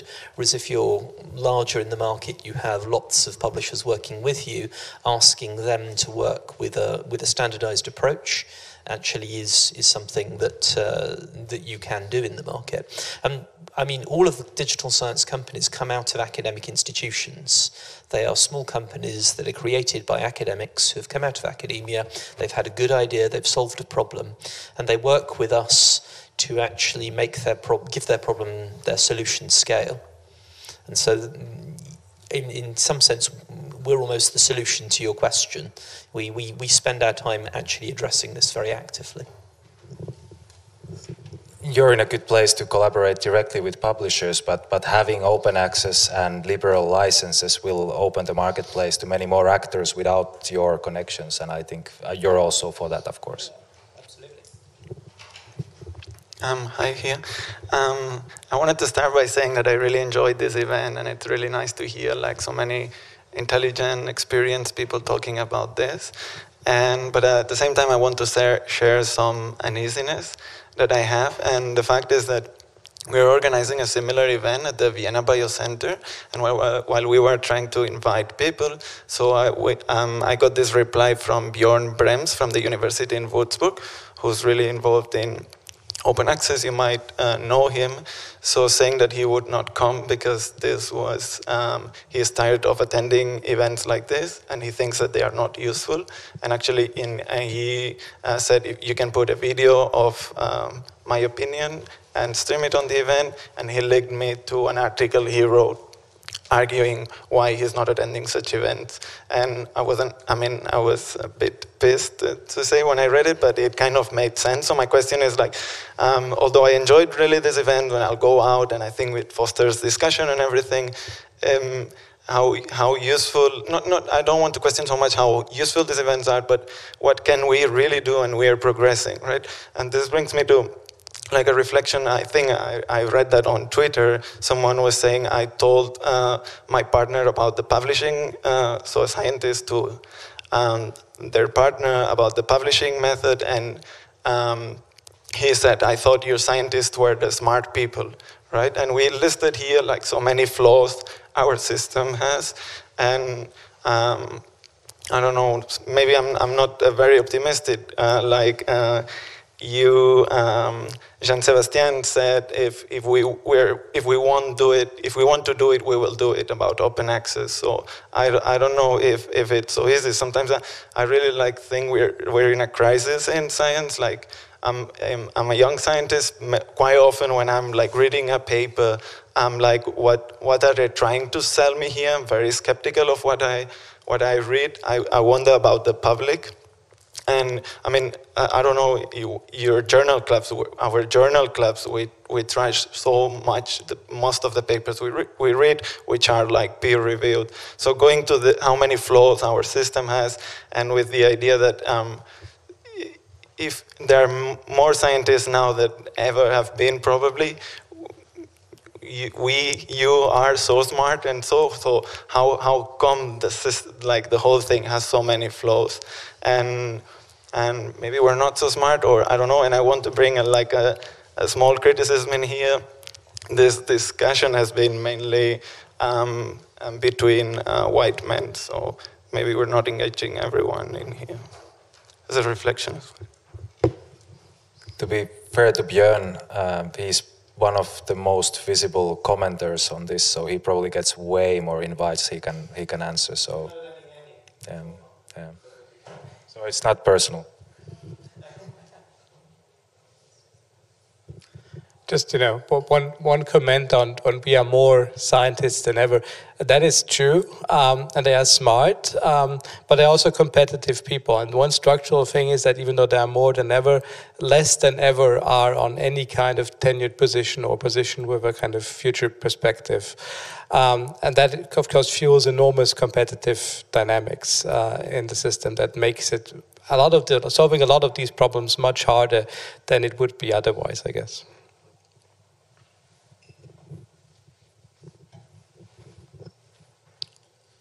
Maybe just the last statement because uh, on the diversity, I, I, was also feeling a bit uncomfortable about this whole thing.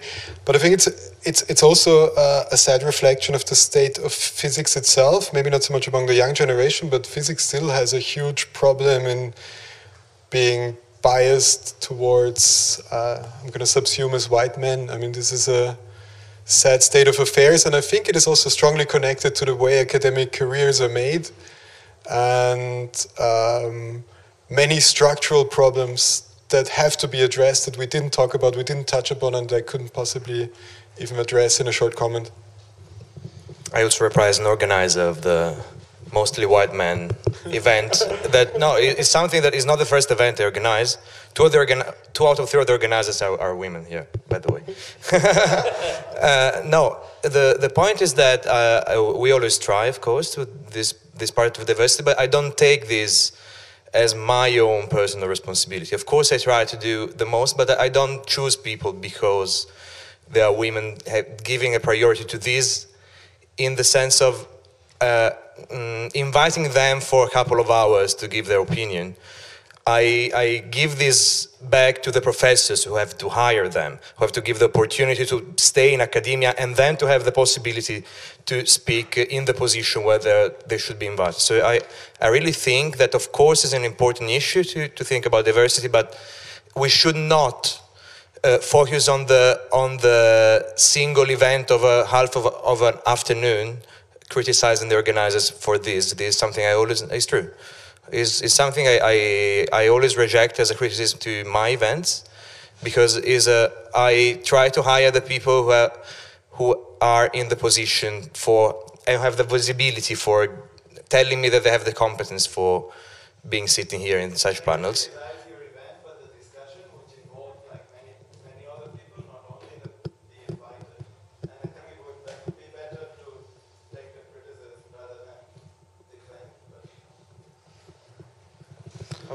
Um, I just wanted to have a comment um, because uh, I think we all here sitting uh, till the quite late evening because we are enthusiastic. We want to push science forward. I think every scientist is an enthusiastic person, wants to do things voluntarily, wants to uh, improve the science and the society. But at the, at the other hand, we are kind of in a schizophrenia or also alibistic at some points because you are or we are all working in a framework where if you submit a grant, everyone is looking at uh, your publication records, uh, including the ERC. Um, we also um, if, if you apply for a position, if you want to keep your position, if you go, want to get uh, higher in your positions, everyone is looking at your um, publication records, and especially if they are in good journals, if they are in high profile journals, if they are in Web of Science listed, or if they are listed in Scopus.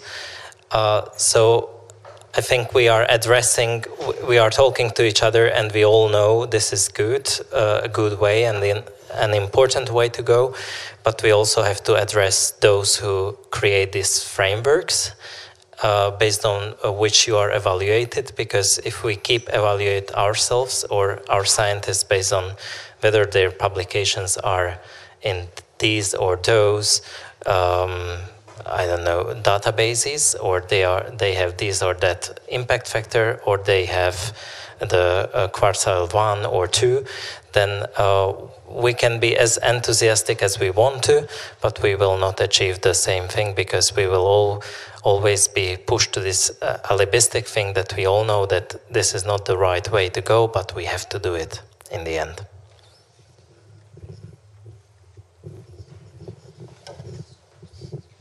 Well, so uh, as far as I'm concerned, I think it's a question of uh, infrastructure. If you have the tools at your disposal and they're objectively better, you will use them. But if you don't have the tools, you can organize as many conferences on these things as you want, and still you don't have them. So I think we have to, in a sense, uh, keep on talking. Yes, that's great, but you also have to build stuff, and this goes uh, very often outside of your work hours. But I mean, I think there is movement for these things now, and I hope you you recognize it.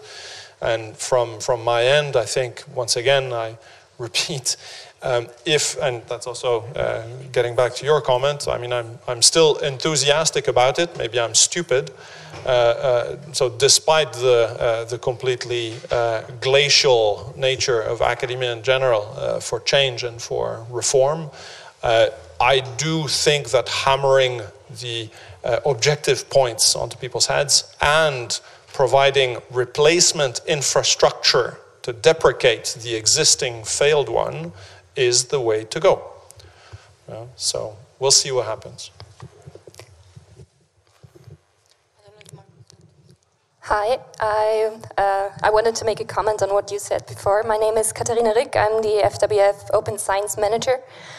So you asked the question, um, what can we really do as scientists, as researchers? So I would say support open access by publishing in open access journals, by not being an editor for journals that are not open access, support Plan S, because with Plan S, we as research funders really want to try to change the system.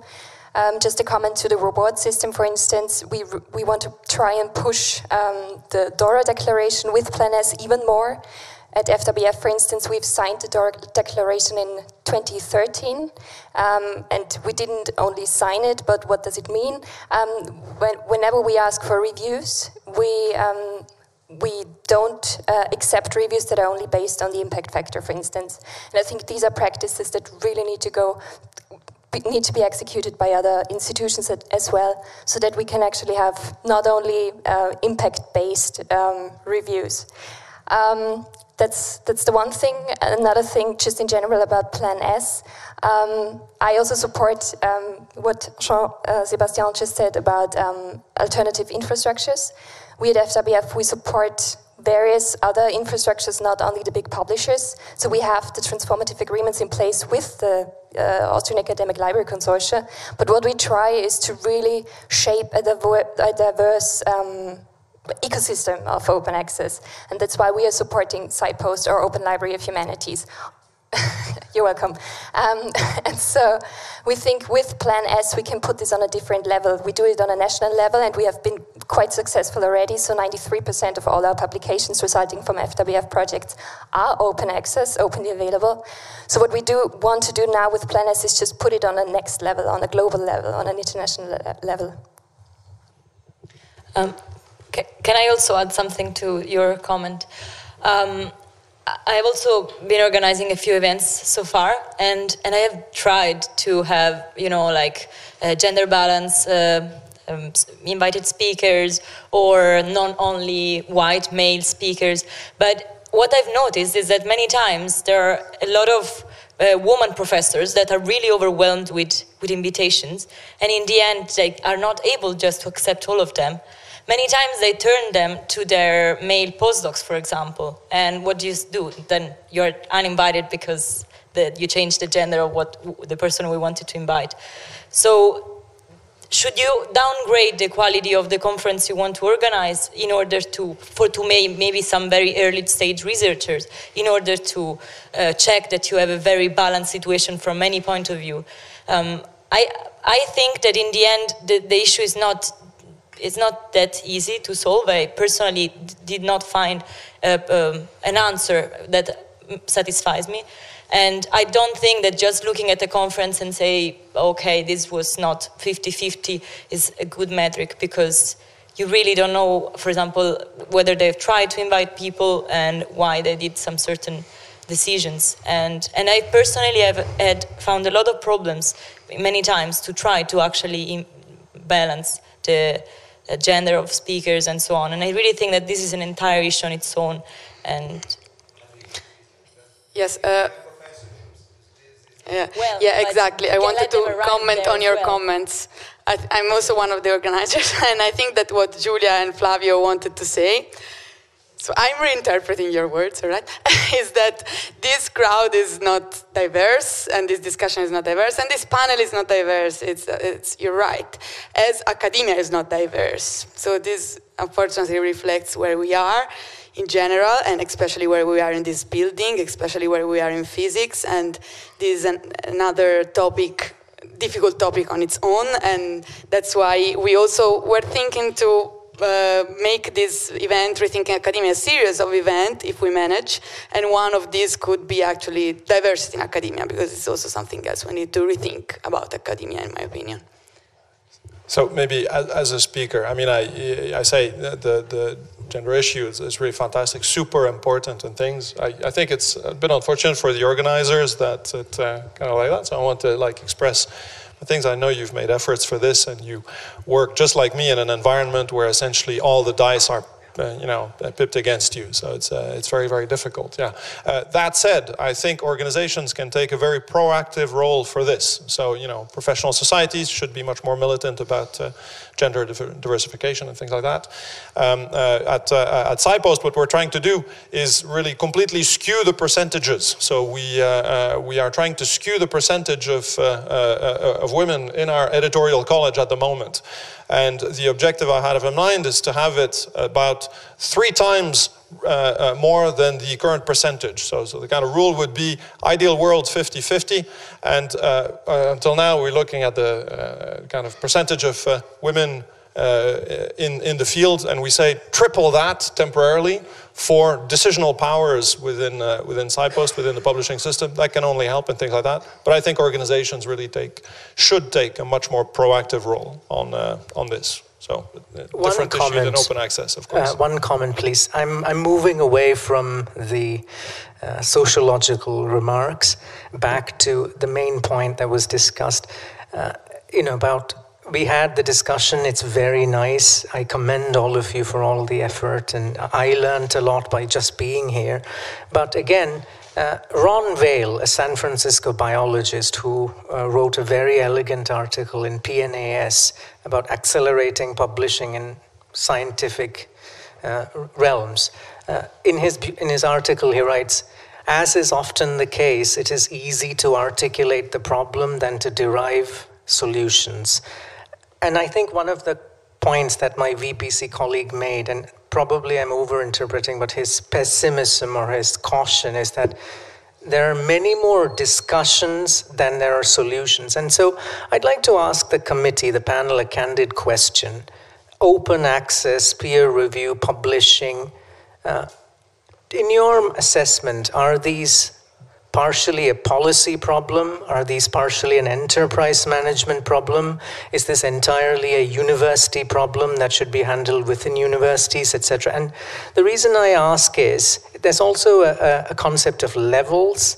When the Secretary of Health and Human Services, after Congress votes on funding, talks to nature and says what we fund has to be open access, it became open access. Some articles funded by NIH, which is which I think is one of the biggest funding bodies in the world, is they they do it. So how do we? Would you please comment and then maybe educate us on what you think your perspective on levels at which uh, these topics should be approached and how much should policy be involved? Thank you. Every level. That's my answer. Every level.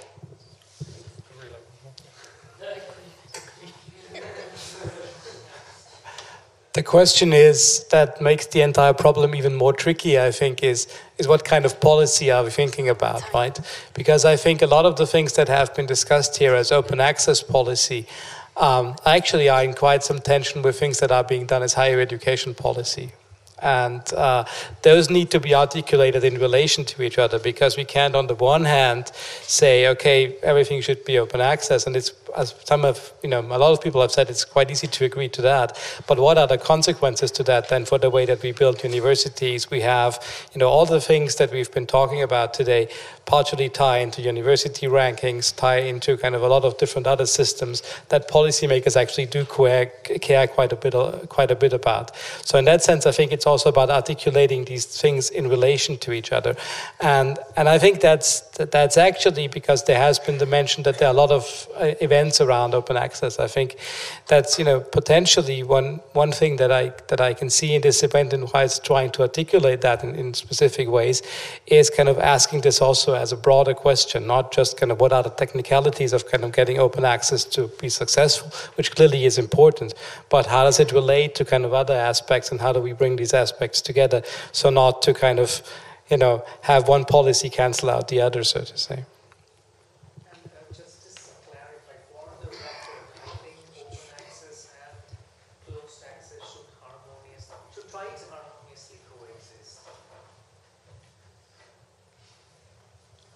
Um, yeah, I wanted to say I, I would not like that someone like goes home and then is like, I went to an event about rethinking academia and we ended up talking about uh, gender and diversity. I think it's really good that we that we talked about this.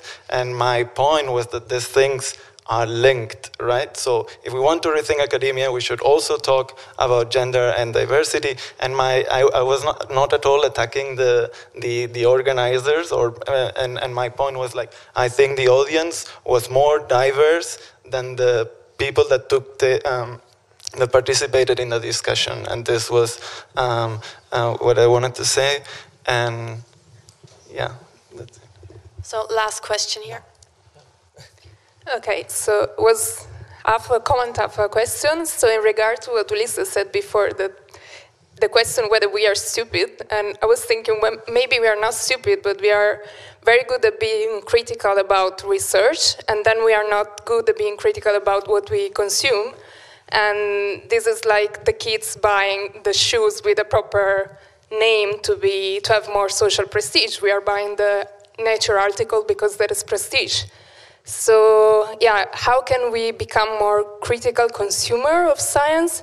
And maybe is it something to think about, not just to make open access to look good, but also to uh, yeah to make the more traditional publishing for profit to look bad. So to add a bit of shame to us to change the way we we make our choice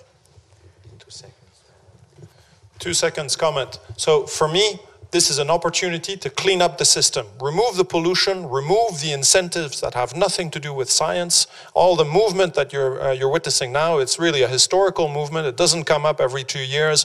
So just be aware that there's an opportunity to make the system better. And if you don't take it, then don't blame us for spending 40, 45 years of your career with an old corrupt system that you were not able to change. It's in your hands. It's as serious as this. Thank you very much. And with this, we conclude this panel discussion. Thank you for, to the panelists. I 20 seconds. I would like I would like to thank uh, IQOQI and the CoQuS program for have to, to, have made this possible, supporting this initiative. The University of Vienna Faculty of Physics to, to have hosted, giving us the venue. The other organizers, the panelists again, you who are here, uh, Christiane Losert-Valiente Kroon, who helped organizing this. And uh, these, uh, stay tuned on our website because we will organize more events. I hope you were not satisfied with the event of today because it means that uh, you, you learned something, you're angry now, and there is something to change. So this must be brought to the level of the academics. We should, as academics, take care of this. Many of us, until a few months ago, didn't know about Plan S, and, and this will uh, afflict uh, severely the way we will do science in the in the next years. So we should be aware and we should be take part in the policy making as well. Thank you very much again.